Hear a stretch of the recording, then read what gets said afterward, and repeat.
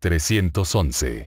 Lesión vascular del riñón. La circulación renal es compleja y se caracteriza por una red arteriolar con perfusión abundante que llega a las estructuras glomerulares corticales adyacentes a los vasos rectos de menor flujo que descienden a los segmentos medulares. Las alteraciones en los vasos grandes, como la estenosis de la arteria renal y la enfermedad aterotrombótica, se describen en otro capítulo, capítulo 322. Aquí se examinan los padecimientos primarios de los vasos microscópicos renales, muchos de los cuales se acompañan de trombosis y hemólisis. Microangiopatía trombótica. La microangiopatía trombótica es una lesión patológica que se caracteriza por células endoteliales dañadas en las arteriolas y capilares terminales. Las plaquetas y los trombos hielinos, que producen oclusión parcial o completa, forman parte integral de la histopatología de la microangiopatía trombótica. Por lo general, la microangiopatía trombótica es concomitante anemia hemolítica microangiopática, con sus rasgos típicos de trombocitopenia y esquistocitos. En el riñón, la microangiopatía trombótica se caracteriza por células endoteliales edematosas y un patrón membrano proliferativo en el glomérulo. Los trombos de fibrina pueden extenderse al polo vascular arteriolar, lo que causa colapso glomerular y, a veces, necrosis cortical. En los riñones que se recuperan de la microangiopatía trombótica aguda, quizás se desarrolle glomeruloesclerosis segmentaria focal secundaria.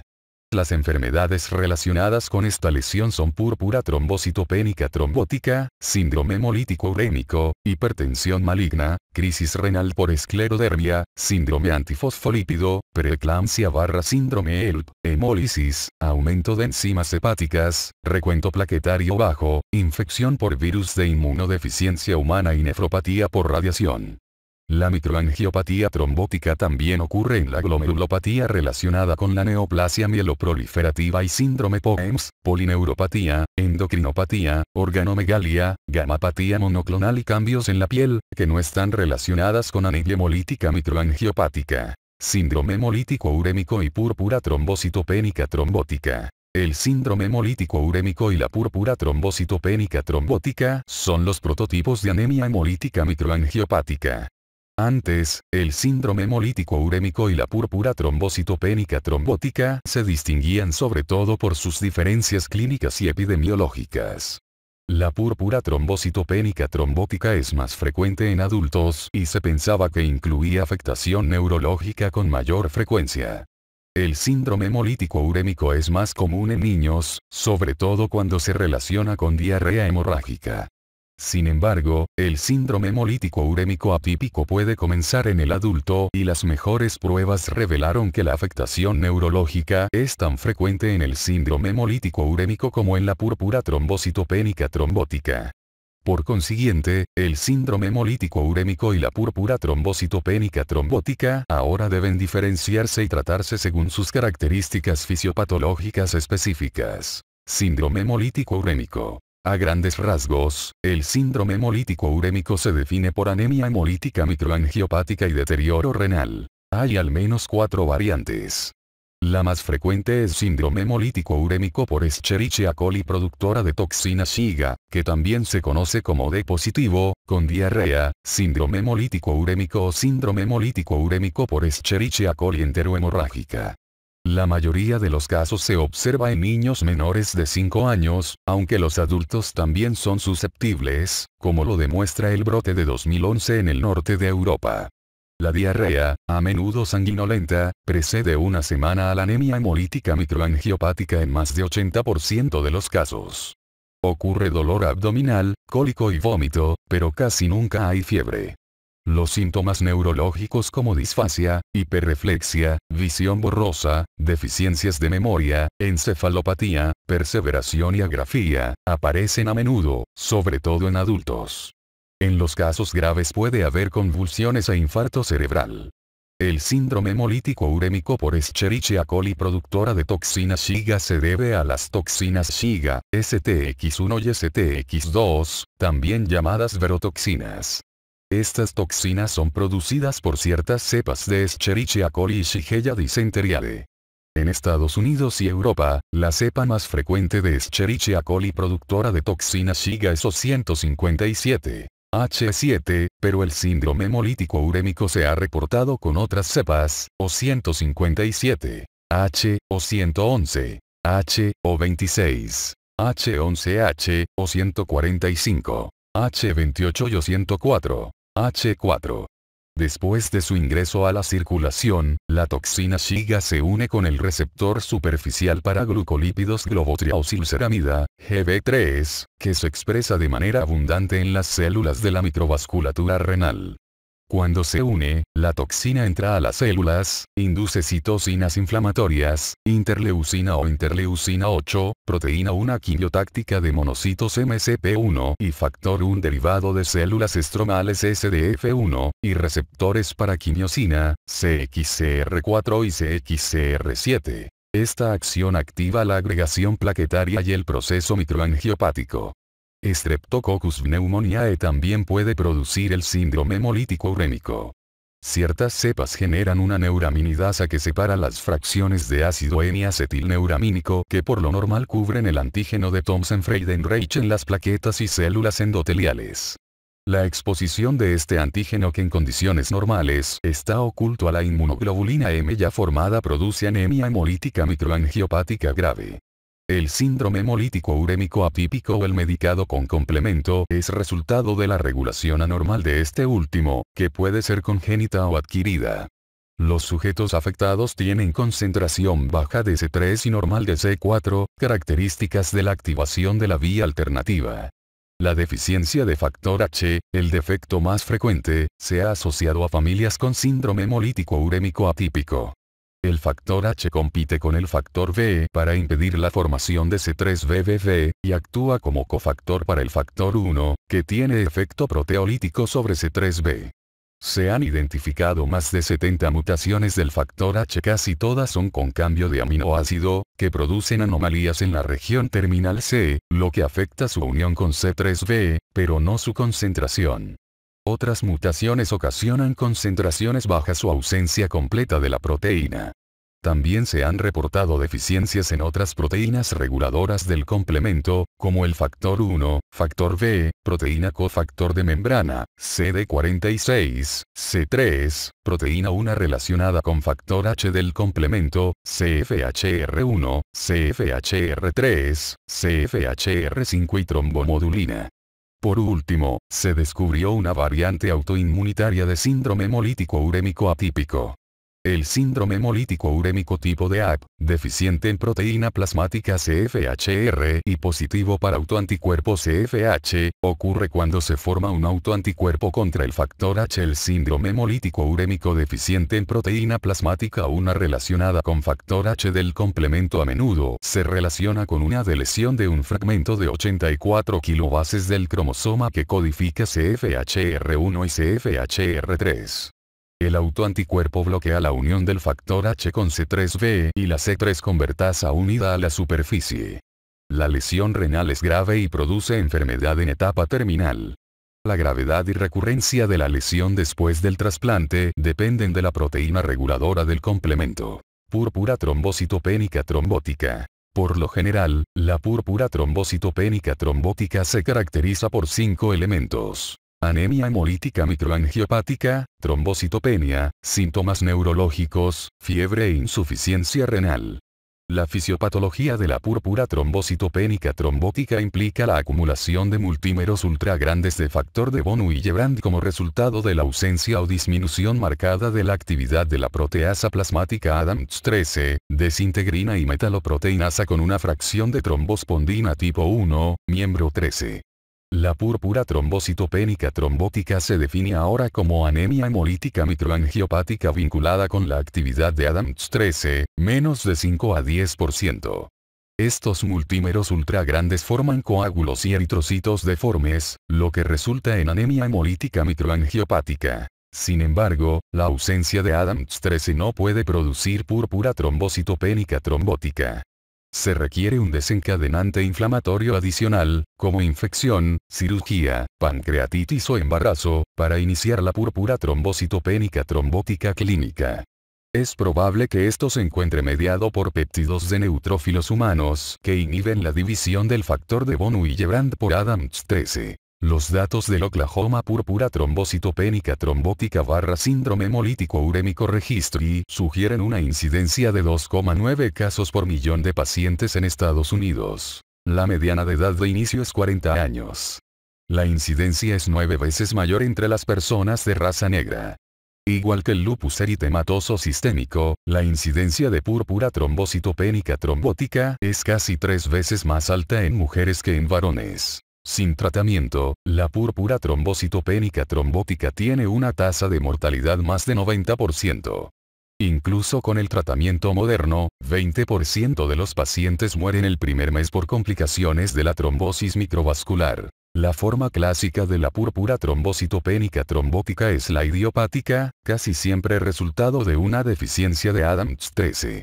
Aunque a la púrpura trombocitopénica trombótica siempre se le consideró como relacionada con una infección, neoplasia maligna e inflamación intensa, por ejemplo, pancreatitis, la actividad de ADAMTS13 casi nunca disminuye en estos padecimientos, así que no debe ser considerada púrpura trombocitopénica trombótica.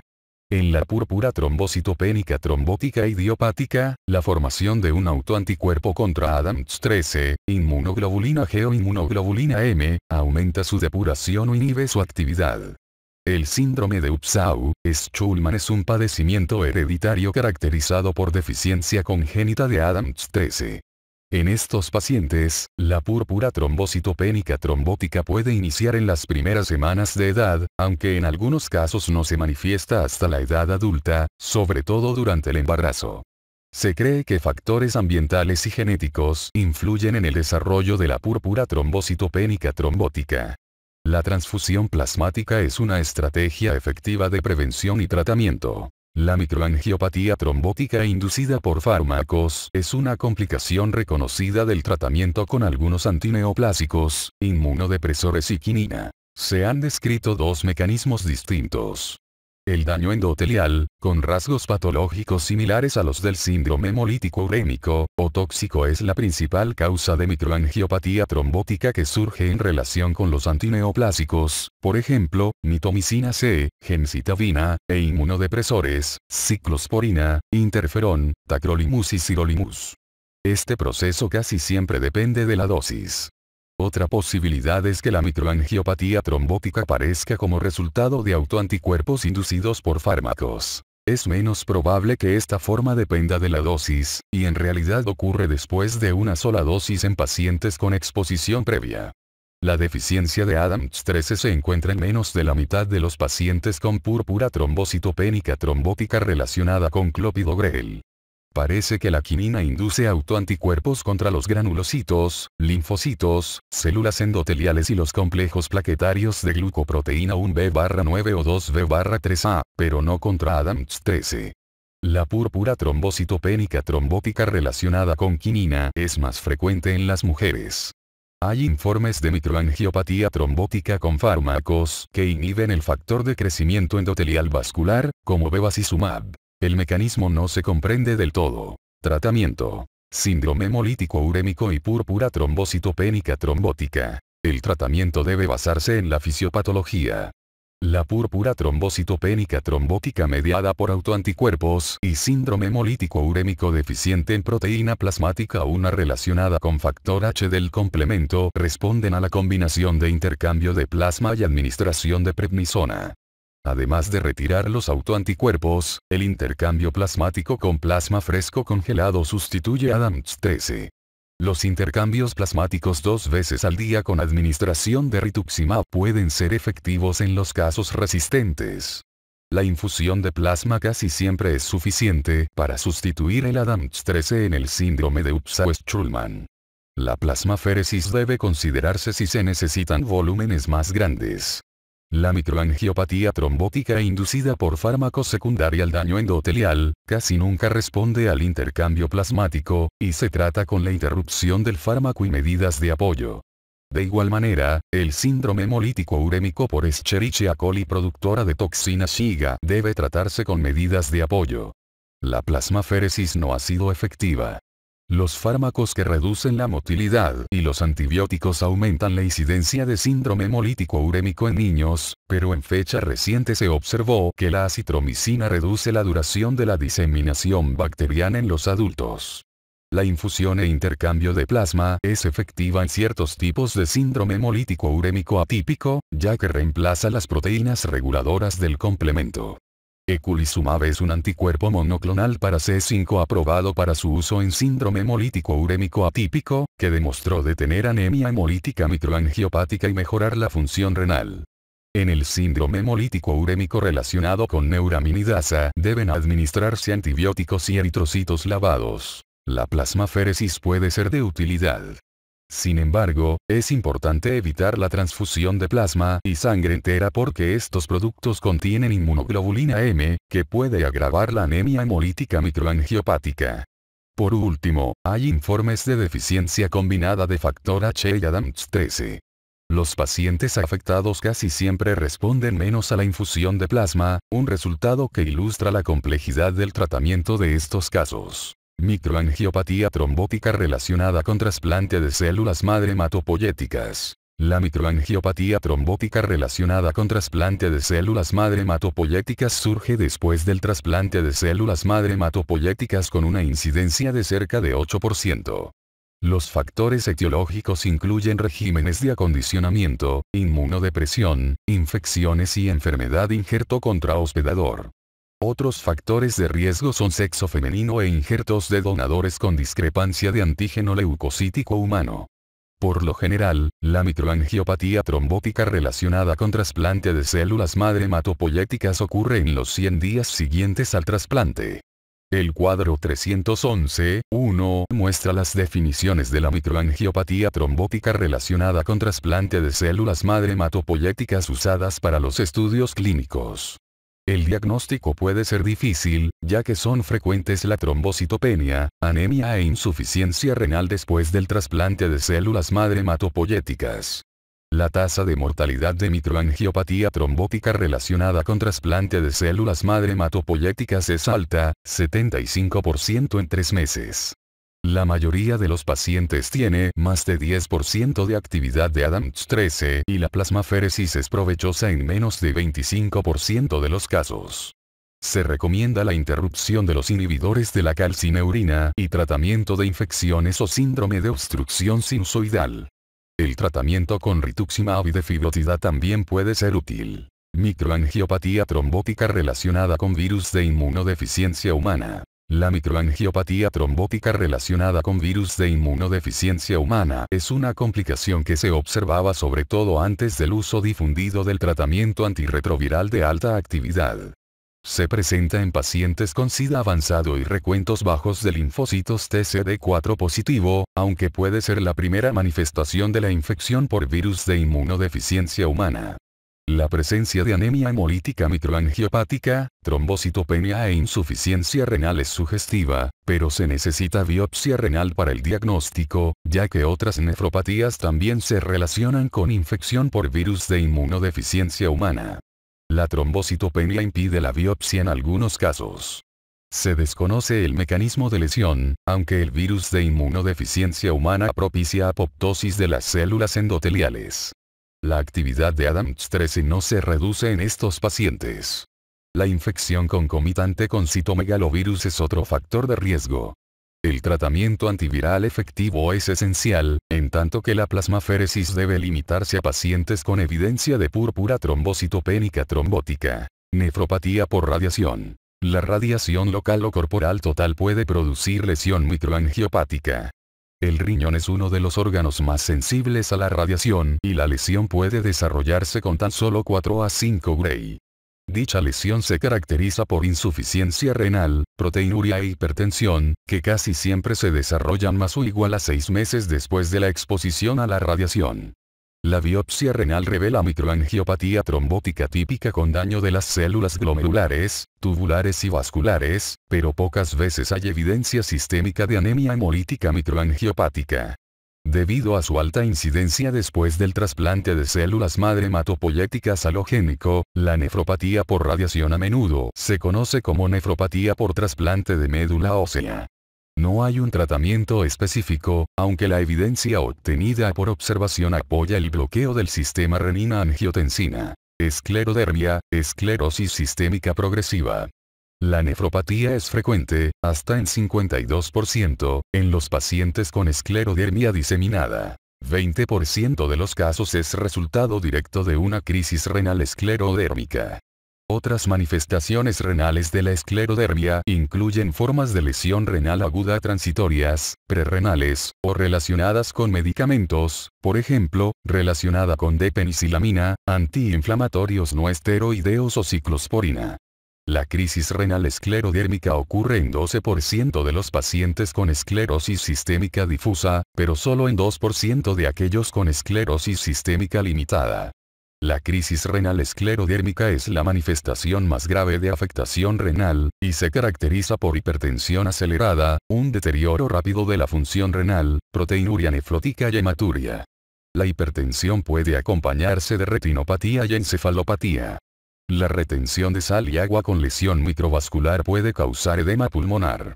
Las manifestaciones cardíacas como miocarditis, pericarditis y arritmias, indican un pronóstico muy sombrío. Aunque la anemia hemolítica microangiopática ocurre en más de la mitad de los pacientes, la coagulopatía es rara. La lesión renal en la crisis renal esclerodérmica se caracteriza por proliferación de la íntima y media de la arteria arqueada con estenosis luminal. Se le describe como piel de cebolla y en ocasiones conlleva colapso glomerular por el flujo sanguíneo reducido. En el examen histológico, la crisis renal esclerodérmica es indistinguible de la hipertensión maligna, con la que puede coexistir. Son frecuentes la necrosis fibrinoide y la trombosis.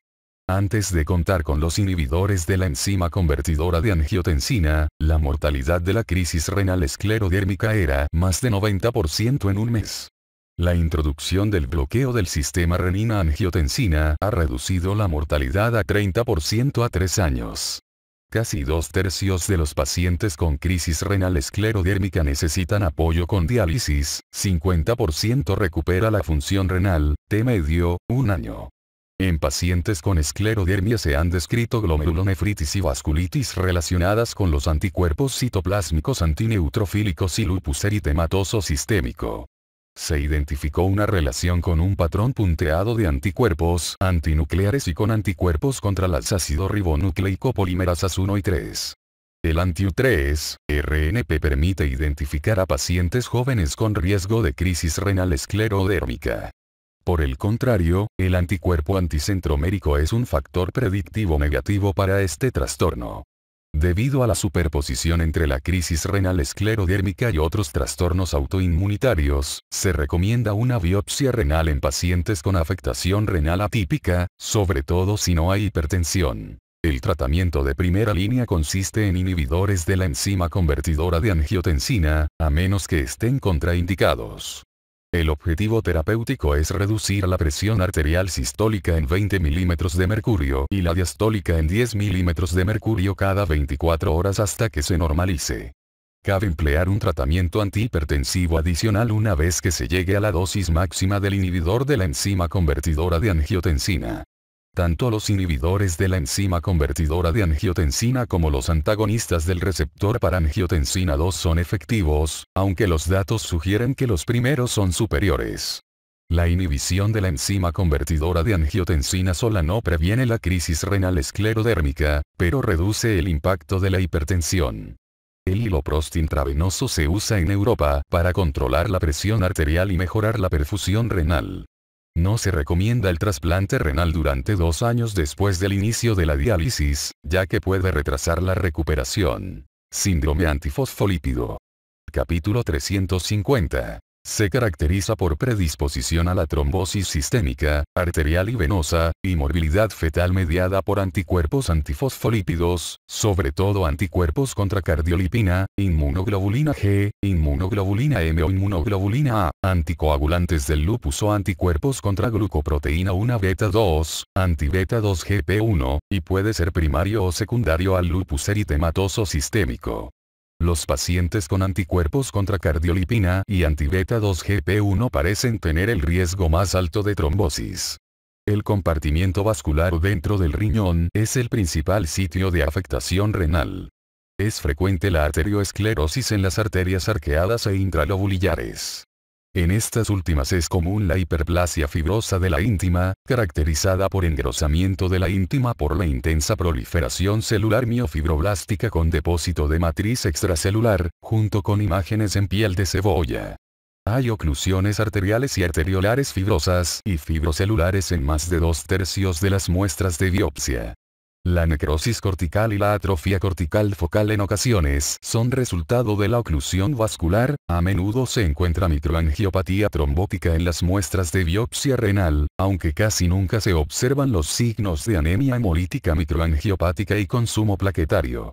La microangiopatía trombótica es muy frecuente en la variante catastrófica del síndrome antifosfolípido. En pacientes con este síndrome quizá haya otras glomerulopatías, incluyendo nefropatía membranosa, enfermedad de cambios mínimos, glomeruloesclerosis segmentaria focal y glomerulonefritis pausi inmunitaria en media luna. El síndrome antifosfolípido afecta vasos grandes y puede constituir el nido proximal cerca del orificio para la trombosis de la arteria renal. La trombosis de la arteria renal es probable, y debe sospecharse en pacientes con anticoagulante del lupus que padecen proteinuria de niveles nefróticos. En ocasiones progresa nefropatía en etapa terminal y la trombosis se forma en el acceso vascular y los aloinjertos renales. La hipertensión es frecuente. El tratamiento incluye anticoagulación de por vida. Los glucocorticoides controlan la hipertensión acelerada. La inmunodepresión y la plasmaféresis son útiles en los episodios catastróficos de síndrome antifosfolípido, pero no reducen la trombosis recurrente. Síndrome ELP. El síndrome ELP, hemólisis, incremento de enzimas hepáticas, recuento plaquetario bajo, es una complicación peligrosa del embarazo relacionada con lesión microvascular.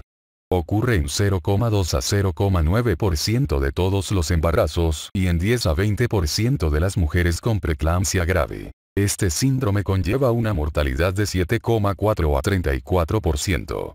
Por lo general surge en el tercer trimestre, 10% de los casos ocurre antes de la semana 27 y 30%, después del parto. Aunque hay una marcada relación entre el síndrome ELP y la preeclampsia, un 20% de los casos no va precedido por preeclampsia identificada. Los factores de riesgo son placentación anormal, antecedente familiar y cifras altas de ácido ribonucleico mensajero fetal para FLT1, receptor 1 para el factor de crecimiento endotelial vascular, y endoglina. Las pacientes con síndrome ELP tienen concentraciones más altas de marcadores inflamatorios, proteína C reactiva, interleucina 1 RAE interleucina 6, y antígeno leucocítico humano de soluble que aquellas con preeclampsia sola. La mitad de las mujeres con síndrome de ELP sufren insuficiencia renal, aunque la etiología no se comprende bien. Algunos datos sugieren que la insuficiencia renal es resultado de la preeclampsia y la necrosis tubular aguda. Los hallazgos histológicos renales son los de la microangiopatía trombótica, con edema de las células endoteliales y oclusión de la luz capilar, pero casi nunca hay trombos luminales. Sin embargo, los trombos se vuelven más frecuentes en la eclampsia y el síndrome de ELF graves. Aunque la insuficiencia renal es común, el órgano que define este síndrome es el hígado. Los hematomas hepáticos subcapsulares a veces producen rotura espontánea del hígado y pueden poner en peligro la vida. Las complicaciones neurológicas, como el infarto cerebral, la hemorragia cerebral y del tronco del encéfalo, y el edema cerebral, son otras complicaciones que ponen en peligro la vida. Las complicaciones no letales incluyen desprendimiento placentario, pérdida permanente de la visión por retinopatía semejante a la de Purtscher, vasculopatía hemorrágica y oclusiva, edema pulmonar, hemorragia y muerte fetal. Muchas características son compartidas por el síndrome de ELP y la anemia hemolítica microangiopática. El diagnóstico del síndrome se complica por el hecho de que síndrome hemolítico urémico atípico y púrpura trombocitopénica trombótica también pueden desencadenarse por el embarazo, y son comunes las mutaciones del complemento, 30 a 40%. Las pacientes con síndrome antifosfolípido también tienen riesgo alto de síndrome de ELP. Un antecedente de anemia hemolítica microangiopática antes del embarazo tiene valor diagnóstico. El nivel sérico de actividad de ADAMTS13 se reduce en 30 a 60% en el síndrome de ELP, pero no hasta los niveles que se observan en púrpura trombocitopénica trombótica, menos de 5%. La determinación del cociente entre lactato deshidrogenasa y aspartato aminotransferasa puede ser útil. Este cociente es de 13 sobre 1 en pacientes con síndrome de ELP y preeclampsia, a diferencia de 29 sobre 1 en pacientes sin preeclampsia. Otros marcadores, como la antitrombina 3, disminuida en el síndrome de ELP, pero no en la púrpura trombocitopénica trombótica, y el dímero D, aumentado en el síndrome, pero no en la púrpura trombocitopénica trombótica, también pueden ser útiles. El síndrome de ELP casi siempre se resuelve de manera espontánea después del parto, aunque un pequeño porcentaje de casos ocurre después del parto. Los glucocorticoides disminuyen los marcadores inflamatorios, aunque dos estudios controlados con distribución al azar no demostraron un beneficio sustancial. Debe considerarse la plasmaféresis si la hemólisis no responde a los glucocorticoides y al parto, sobre todo si no se descartó la púrpura trombocitopénica trombótica. Glomerulopatía relacionada con neoplasia mieloproliferativa. Mientras que la anemia hemolítica microangiopática está presente a menudo en la microangiopatía trombótica, esto no es cierto para todas las lesiones. Ahora se reconocen dos padecimientos que se presentan con microangiopatía trombótica renal, pero sin evidencia de anemia hemolítica microangiopática sistémica. El primero es la glomerulopatía relacionada con neoplasia mieloproliferativa.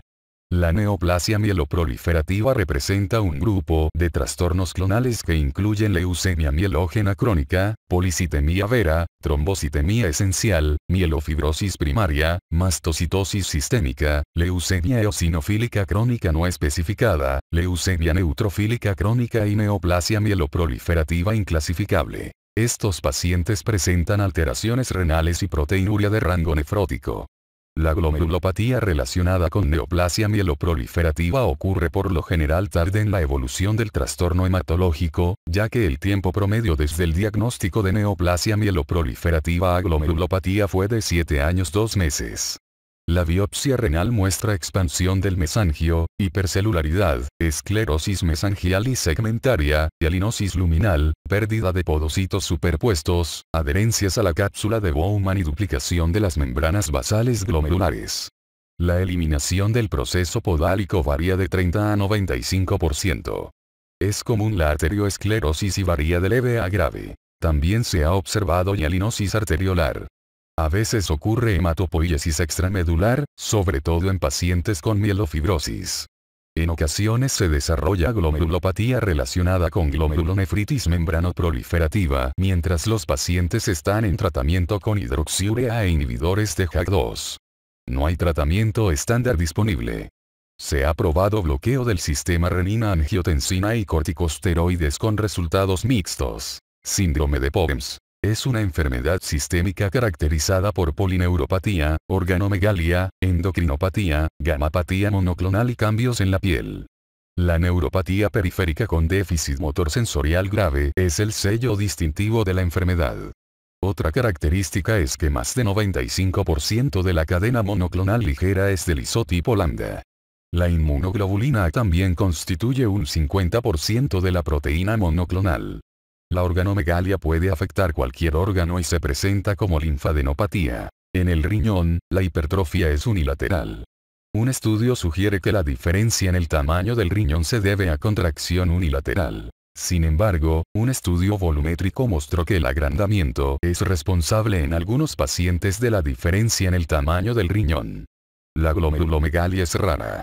La apariencia lobular, hinchazón de las células endoteliales, hipercelularidad, mesangiolisis, microaneurismas y el agrandamiento glomerular, son reminiscentes de glomerulonefritis membranoproliferativa. La mayoría de los pacientes presenta alteraciones renales de leves a moderadas y proteinuria de bajo grado. Es rara la progresión a enfermedad renal en etapa terminal. Nefropatía drepanocítica. Las complicaciones renales en la drepanocitosis se deben a la oclusión de los vasos rectos en la médula renal. La baja presión parcial de oxígeno y la elevada osmolaridad predisponen a la polimerización de la hemoglobina S y la deformación falciforme de los eritrocitos. Las secuelas incluyen hipostenuria, hematuria y necrosis papilar, que también puede ocurrir en el rasgo falciforme. El riñón responde con aumentos del flujo sanguíneo y de la tasa de filtración glomerular mediados por las prostaglandinas. Esta dependencia de las prostaglandinas puede explicar el mayor descenso de la tasa de filtración glomerular con los antiinflamatorios no esteroideos en estos pacientes que en otros. Los glomérulos casi siempre están crecidos. Se cree que la fragmentación intracapilar y la fagocitosis de los eritrocitos falciformes son los causantes de la lesión semejante a la glomerulonefritis membranoproliferativa. En los casos más avanzados se ve glomeruloesclerosis segmentaria focal. Existe proteinuria en 20 a 30% y la proteinuria en el intervalo nefrótico se relaciona con la progresión hacia la insuficiencia renal. Los inhibidores de la enzima convertidora de angiotensina reducen la proteinuria, aunque no hay datos sobre la prevención de la insuficiencia renal. Los pacientes con repanocitosis también son más proclives a la insuficiencia renal aguda. Se cree que la causa refleja es la oclusión microvascular relacionada con rhabdomiólisis no traumática, fiebre alta, infección y deformación falciforme generalizada. Se observa nefropatía crónica en 12 a 20% de los pacientes. A pesar de la frecuencia de la enfermedad renal, la hipertensión no es frecuente en pacientes con repanocitosis. Trombosis de la vena renal. La trombosis de la vena renal puede manifestarse con dolor en el flanco, sensibilidad, hematuria, disminución de la función renal y proteinuria, o puede ser asintomática. En ocasiones, la trombosis de la vena renal se identifica durante un estudio por embolia pulmonar. Afecta con mayor frecuencia la vena renal izquierda y en dos tercios de los casos la trombosis es bilateral. Las causas pueden dividirse en tres categorías amplias. Daño endotelial, estasis venosa e hipercoagulabilidad. La homocistinuria, intervención endovascular y la cirugía, pueden causar daño endotelial vascular. La deshidratación, que es más frecuente entre los varones, es causa frecuente de estasis en la población pediátrica. La estasis también puede ser resultado de la compresión y torsión de las venas renales por procesos retroperitoneales, como fibrosis retroperitoneal y neoplasias abdominales. Con el síndrome antifosfolípidos, la trombosis llega a ocurrir en toda la circulación renal, incluyendo las venas renales. En ocasiones la trombosis venosa renal es secundaria al síndrome nefrótico, en particular la nefropatía membranosa. Otros estados hipercoagulables menos relacionados con la trombosis de la vena renal son las proteínas C y S, deficiencia de antitrombina, factor 5 Leiden, neoplasia maligna diseminada y anticonceptivos orales. El síndrome nefrótico grave también predispone a los pacientes a la trombosis venosa renal. La detección diagnóstica puede hacerse con ecografía Doppler, que es más sensible que la ecografía simple. La angiografía por tomografía tiene sensibilidad cercana a 100%. La angiografía por resonancia es otra opción, pero es más costosa. El tratamiento para la trombosis de la vena renal consiste en anticoagulación y tratamiento de la causa subyacente. La trombólisis endovascular se considera en los casos graves. En ocasiones puede realizarse la nefrectomía si las complicaciones ponen en peligro la vida. A menudo se usan filtros en la vena cava para prevenir la migración de los